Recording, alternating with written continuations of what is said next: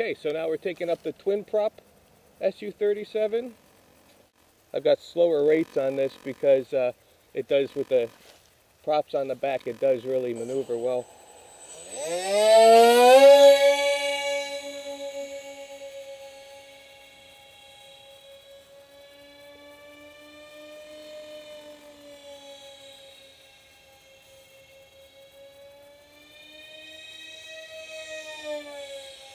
That's half throttle.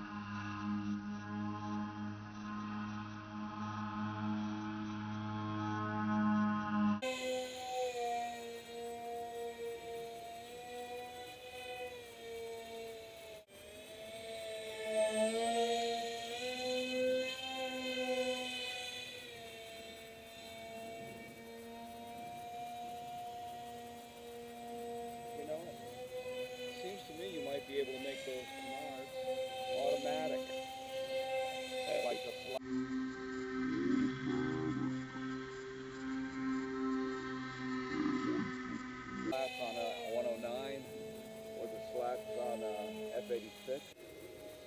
I was thinking you could do it with springs Oh, yeah. so that when you pull angle of attack, the canards would be deflected by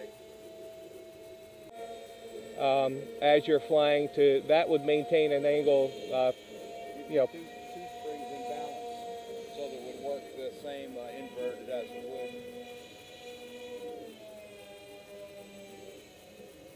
It would work the same way inverted as it would positive.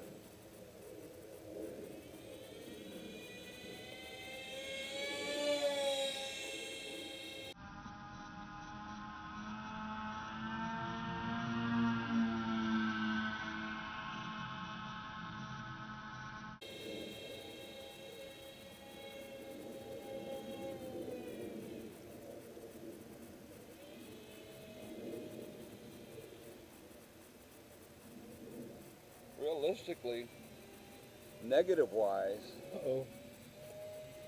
Something's not right here. We've got to bring it back.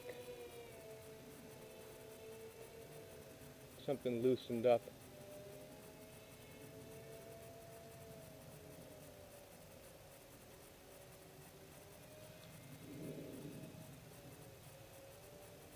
I bring it in fast. When I slow down, I have no control whatsoever.